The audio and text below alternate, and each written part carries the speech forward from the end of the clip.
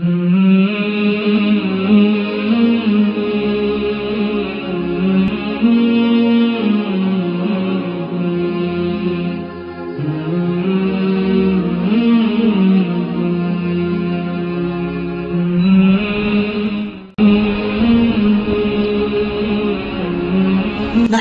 ونصلي على رسوله الكريم.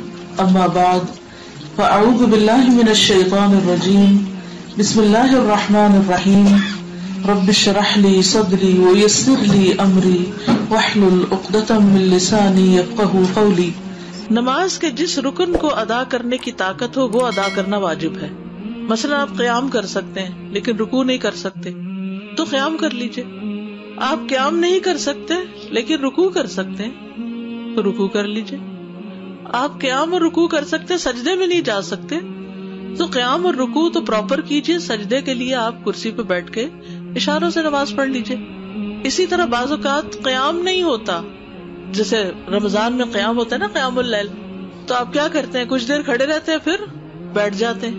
لیکن رکو اور سجدہ آپ کر سکتے ہیں۔ تو رکو اور سجدہ کرتے جائیں، یہ نہیں کہ ایک دفعہ بیٹھے تو ہر چیز بیٹھ کے کر رہے ہیں۔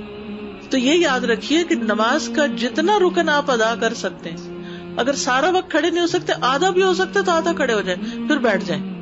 لیکن جب رکو کا ٹائم ہے تو کھڑے ہو جائے پھر رکو کر لیں۔ بیٹھ کر رکو اور سجدہ کرنے کا طریقہ۔ ابن عمر سے مروی ہے، وہ کہتے ہیں، رسول اللہ صلی اللہ علیہ وسلم اپنے ایک بیمار ساتھی کی عیادت کے لیے نکلے۔ میں بھی آپ کے ساتھ تھا۔ جب اس کے پاس پہنچے تو کیا دیکھتے کہ وہ ایک لکڑی پر نماز پڑھ رہا ہے اور سجدہ کرتے وقت اپنی پیشانی اس پر ٹیکتا ہے۔ آپ صلی اللہ علیہ وسلم نے اس کی طرف اشارہ کیا۔ تو اس نے لکڑی کو پھینک دیا اور اس نے تکیا پکڑ لیا۔ تو رسول اللہ صلی اللہ علیہ وسلم نے فرمایا، اس کو بھی ہٹا دو یعنی تکیے کو۔ اگر تم استطاعت رکھتے تو زمین پہ سجدہ کرو، نہیں رکھتے تو اشارے سے پڑھو اور اپنے سجدوں کو اپنے رکو سے زیادہ جھکاؤ۔ یعنی تکیے، تختے، کسی چیز پہ پڑھنے کی ضرورت نہیں، ٹیبل پہ، کسی بھی چیز پہ سر رکھنے کی ضرورت نہیں۔ اور یہ حدیث یاد رکھیے۔ عبد العزیز بن باز کہتے کہ زمین یا کرسی پر بیٹھ کر نماز ادا کرنے کے لیے واجب ہے۔ کہ وہ سجدہ کرتے وقت اپنے رکو سے زیادہ جھکے۔ بس یہ یاد رکھیے۔ لیکن سجدے کی حالت میں اس کے لیے واجب ہے کہ اگر استطاعت ہو تو زمین پر ہاتھ رکھے اور رکو میں دونوں گھٹنوں پر۔ یعنی جیسے نیچے بیٹھ کے کوئی پڑھ رہا ہے، تو رکو کے وقت کیا کرے؟ گھٹنوں پر ہاتھ رکھ لے۔ اور سجدے کے وقت کیا کرے؟ زمین پر ہاتھ رکھ لے۔ لیکن کوئی لکڑی اور بینچ اور یہ کچھ بھی رکھنے کی ضرورت نہیں۔ اگر زمین تک نہیں جاتا تو جہاں تک ہاتھ انگلیاں لگتی ہیں تو اتنی لگا لے، تاکہ رکو اور سجدے میں اشارے میں فرق ہو۔ لیکن اگر استطاعت نہ ہو تو اپنے ہاتھ گھٹنوں پر ہی رکھے۔ جیسا کہ نبی صلی اللہ علیہ وسلم سے ثابت ہے کہ مجھے سات ہڈیوں پر سجدہ کرنے کا حکم دیا گیا۔ پیشانی اور آپ نے ناک کی طرف اشارہ کیا۔ دونوں ہاتھ دونوں گھٹنے اور پاؤں کی انگلیاں۔ اور جو شخص ایسا کرنے سے آجز ہو اور کرسی پر بیٹھ کر نماز ادا کرے تو اس میں کوئی حرج نہیں۔ یعنی زمین پہ نہیں بیٹھ سکتا تو کیا کرے؟ کرسی پہ بیٹھ جائے۔ فتق اللہ مستطاعت نبی صلی اللہ علیہ وسلم نے فرمایا ازا امر تو کم امر فاتو من مستطاعت جب میں تمہیں کسی چیز کا حکم دوں، تو تم اپنی استطاعت کے مطابق اس پر عمل کرو۔ رکو اور سجود میں کمر جھکانے کا طریقہ۔ اگر کوئی شخص کمر جھکا نہیں سکتا، بعد میں کی بیک کی سرجری ہوتی ہے، جھکا ہی نہیں سکتے، تو وہ سر جھکا لے گردن ہی جھکا لے۔ اور اگر اس کی کمان کی طرح پہلے سے ہی دوہری ہو تو ایسا لگتا ہے کہ رکو کی حالت میں ہے، تو جب وہ رکو کا ارادہ کرے تو تھوڑا اور جھکے۔ بعض لوگوں کا کب نکل جاتا ہے نا کبڑا جیسے ہوتا ہے۔ اس کی قبر پہلے ہی ایسے ہے۔ تو وہ کیا کرے، تھوڑا سا اور سر جھکا لے تو سجدے کی حالت میں جتنا اس کے لیے ممکن ہو، اپنے چہرے کو زمین کی طرف اور زیادہ قریب کرے۔ جتنا ممکن ہو، نیچے تک جائے۔ سجدے میں یاد رکھیے۔ کرسی پر بھی بیٹھے ہوئے جتنا آپ جھک سکے جھکتے جائیں۔ اب صف میں کرسی رکھنے کا طریقہ۔ کرسی کو صف میں رکھنے کے متعلق علماء نے بیان کیا کہ جو شخص بیٹھ کر نماز ادا کرتا ہے، اس کے لیے اس کی پشت معتبر ہوگی۔ چنانچہ نہ تو وہ سب سے آگے ہو نہ پیچھے ہو۔ مقاد وہ حصہ ہے جس پر جسم کا انحصار ہے۔ یعنی کرسی اس طرح رکھے کہ لائن میں اس کے کندھے دوسروں کے ساتھ لگ رہے پاؤں نہیں۔ کیا رکھے؟ کندھے سر، یہ برابر ہونا چاہیے۔ اس لیے اگر نمازی ابتدا سے اختتام تک کرسی پر بیٹھ کر نماز ادا کرے گا یعنی اول سے آخر بیٹھا ہی ہے، جیسے بہت سے بزرگ ہوتے ہیں نا، وہ کھڑے ہی نہیں ہوتے، بیٹھا ہی بیٹھا ہے، تو وہ اپنے بیٹھنے والی جگہ کو صف کے برابر کر دے گا۔ یعنی یہ جگہ صف کے برابر ہو جائے گی، اور پاؤں کہاں ہوں گے؟ آگے نکلے ہوئے ہوں گے۔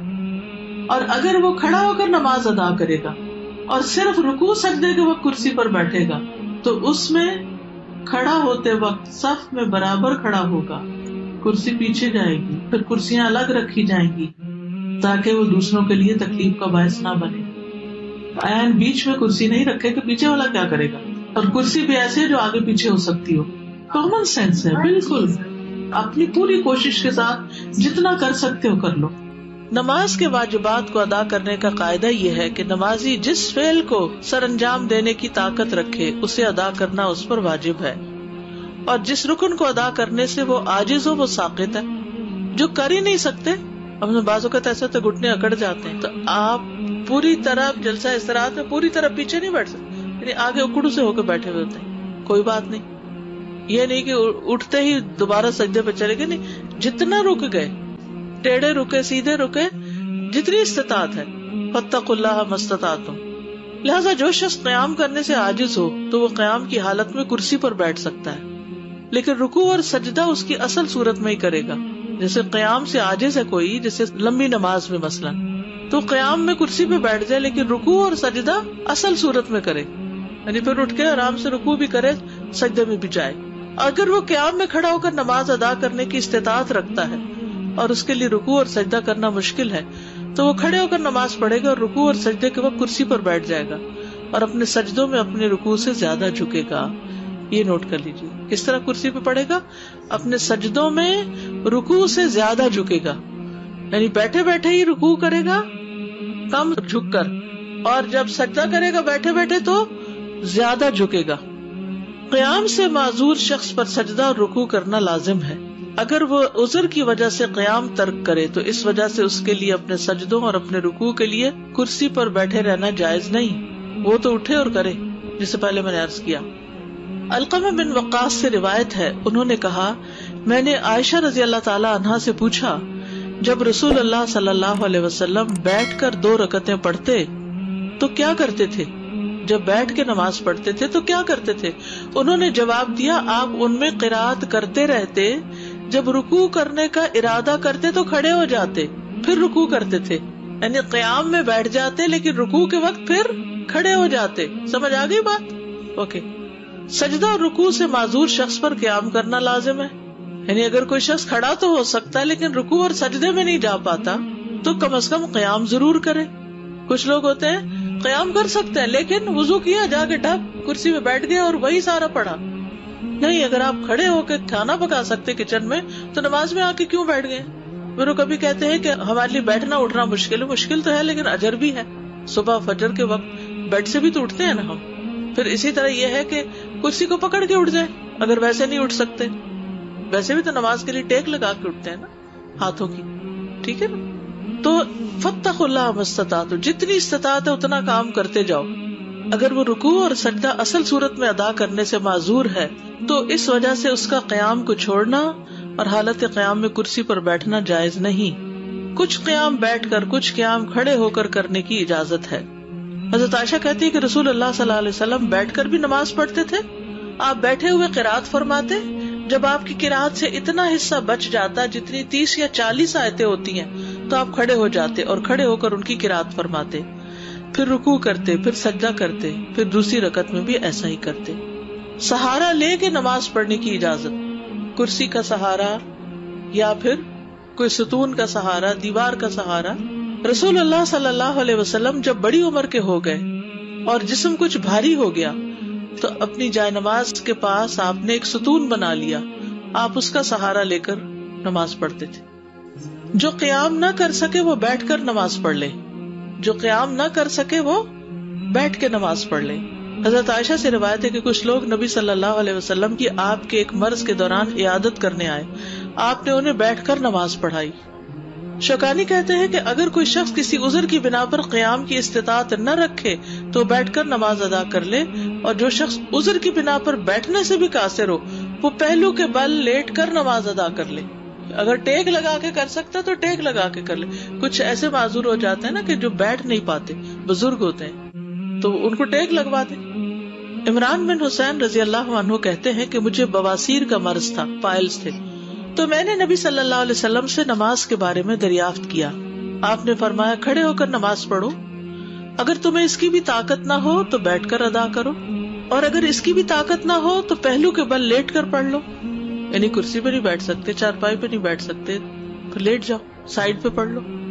جیسے بھی حالات ہو کسی بھی حال میں نماز چھوڑنا جائز نہیں۔ بلکہ مکلف پر واجب ہے کہ اپنے تمام حالات میں، اپنی تندرستی میں بھی، اپنی بیماری میں بھی نماز کی شدید خواہش رکھے۔ کیونکہ نماز اسلام کا ستون ہے اور شہادتین کے بعد تمام ارکان میں سب سے بڑا رکن ہے۔ کسی مسلمان آدمی کے لیے فرض نماز کو چھوڑنا جائز نہیں۔ سبحانك اللهم وبحمدك أشهد أن لا إله إلا أنت أستغفرك وأتوب إليك. السلام عليكم ورحمة الله وبركاته.